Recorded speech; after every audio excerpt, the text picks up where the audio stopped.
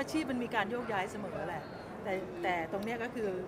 คุณแม่ก็อยู่ตามสัญญา ครับ พอหมดสัญญาเขาไม่ต่อคุณแม่ก็ได้มาหมดสัญญาหนึ่งปีพอดีจ้ะพอหมดสัญญาปุ๊บเราเราคุยกันแล้วว่าจะต่อกันไหมหรือไม่ต่อทางนู้นยืนยันว่าไม่ต่อแน่นอน โอ้ตรงนั้นพี่ไม่รู้จ้ะพี่ไม่รู้จริง ๆ พี่ก็ทำหน้าที่ของพี่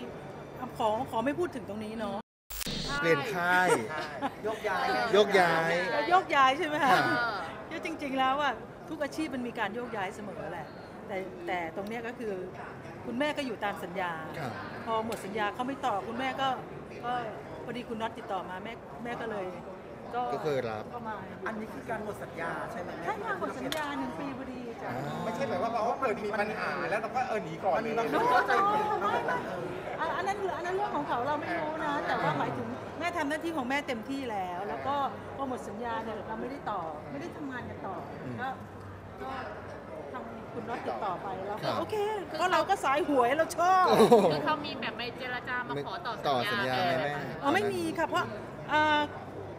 พอหมดสัญญาปุ๊บเราเราคุยกันแล้วว่าจะต่อกันไหมหรือไม่ต่อทางนู้นยืนยันว่าไม่ต่อซึ่แน่งนอน ซึ่งบังเอิญมันเป็นช่วงพอเหมาะพอเจาะกับว่าทางนู้นมีปัญหาทางนู้นมีปัญหาพอดีอ๋อคนก็เลยคิดว่าคนมันก็เลยโยง พี่สุรีบขนของหนีก่อน ไม่ไม่ไม่ไม่ไม่ค่ะ จริง ๆ ตอนนั้นถ้าเขาต่อก็เราก็คงจะจะจะต่อนะ ครับครับครับเพราะว่าก็เพราะว่ามีการคุยกันแล้วจ้ะอืม แต่ทีนี้พอยืนยันว่าไม่ต่อแน่นอนอะไรเงี้ยก็เลยเราก็โอเคเป็นทางเขาเหรอคะที่ตัดสินใจที่จะไม่ต่อใช่ใช่ค่ะเขาเพราะเราคุยกันค่ะ คุยกันครับมีรายลักษณ์อักษร ยืนยันว่าไม่ใช่ทางพิสูจน์เองที่ตัดสินใจว่าไม่ต่อสัญญาคือทางเขาแบบโนโนค่ะเราถามแล้วว่าตกลงจะต่อกันไหมเพราะว่าเราก็อยากให้ทำงานคอนติเนียอะไรอย่างเงี้ยค่ะ ทีนี้ตอนนี้หลายคนมันเกิดการตั้งค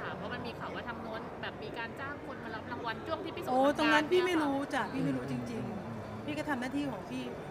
ขอขอไม่พูดถึงตรงนี้เนาะครับได้ได้ในการทำงานตอนนั้นที่อยู่ทางค่ายนู้นเป็นไงบ้างพิสูจน์เป็นหน้าที่ของเรา เราก็ทำหน้าที่ของเราปกติทุกอย่างไม่มีอะไรอืม ก็ให้ทำอะไรเราก็ทำอืมแต่ก็ก็ทำตามหน้าที่ที่กำหนดในระบุในสัญญา ก็คือตรงไปตรงมากับใช่ค่ะ กับรายละเอียดหลักหลักฐานใช่ที่เราใช่มี ค่ะตามนั้นจ้ะครับกลัวไหมครับว่าจะเกิดอะไรขึ้นแล้วจะโยงมายังเราบางคนเจออืมก็ไม่รู้เพราะว่า อันนี้ยังไม่เกิดเราก็ไม่รู้ตอนนี้มันยังไม่ได้มีมีแอบเตรียมใจไหมแม่ มากระทบเราใช่ไหมแม่ยังยังค่ะก็ยังไม่มีอะไรถึงแม่นะครับจ้ะพี่สุเอ่อตอนนี้พอพอเราย้ายอะย้ายค่ายมากับบ้านหลังเนี้ยมันมันทำงานด้วยสบายใจยังไงบ้าง ไม่คือจริง ๆ พอตรงเนี้ยมันก็เหมือนแบบบ้านที่หลังที่ใหญ่ขึ้นครับนะคะ แล้วก็ถูกจับตามองมากขึ้นอืมเอาจริงๆอะเราอย่างแรกเลยเราเข้ามาเหมือนแบบในฐานะเป็นลูกค้าเนาะ ครับ เรามองในใน ในจุดของลูกค้าเราก็รู้สึกว่าที่ถ้าเราจะเลือกไปซื้อของหรือซื้ออะไรเราก็ดูอาจจะดูในจุดที่มันแบบที่เราซื้อแล้วมันมีความมั่นคงหรือเราเราไม่ได้ว่าอะไรใครนะแต่ว่าคุณแม่รู้สึกว่าถ้าเราจะซื้อของถ้าจะซื้อเยอะๆอะไรอย่างเงี้ยมันเหมือนแบบมันมีความสบายใจมีความชัดเจน เราก็รู้สึกว่าเราอยากซื้ออันนั้นในฐานะที่เราเป็นลูกค้า แต่พอมารู้จักคุณน็อตจริง ๆ แม่รู้แล้วว่าทำไมคนถึงแบบ ถึงถึงรักคุณน็อตถ้าใครที่เข้าใกล้คุณน็อตจะรู้เลย ครับ อันนี้ไม่ได้ยอนะ คุณน็อตชัดเจนมากคนชัดเจนและตรงไปตรงมา เราก็รู้จักเขาไม่นานนะแต่ว่าแบบเอาไปไปมามาไล่ไปแล้วมาเขาเป็นเขยโคราชด้วยอ้าว กลายเป็นว่ามันเป็นเหมือนเป็นเรื่เชื่อองมที่เชื่อมแบบกัน ใช่เป็นเขยโคราชก็เลด้วยยสึกอะไรกระชับความสัมพันธ์กันได้เร็ว ใช่ใช่ มันก็เหมือนแบบทำงานด้วยรู้สึก จริง ๆ เพิ่งเริ่มงานด้วยซ้ำไปแต่แบบเรารู้สึกเหมือนทำงานกับคุณน็อตมานานมากอืมกับกับกับในเรื่องของพรีเซนเตอร์มันมีเรื่องของภาพจำอยู่พิสูจน์กลัวคุณจะสับสนไหมว่าทางพิสูจน์อะยังเป็นพรีเซนเตอร์อันบ้านเก่าเดิมหรือบ้านใหม่ภาพอะไรเก่าอยู่อะไรอย่างเงี้ยไม่มันก็อาจจะมีบ้างอะแต่สุดท้ายเขาก็จะเขาจะรู้เองแหละเวลาก็จะช่วยได้ เพราะว่าทุกพี่พี่มองว่าทุกคนเข้าใจแหละพรีเซนเตอร์มันมีระยะเวลาของมันนะคะสุดท้ายมันก็ก็ พร้อมที่จะโยกย้าย และที่สำคัญก็คือพรีเซนเตอร์ลอตเตอรี่อะแม้ว่ามันมองเหมือนกับว่าสามารถ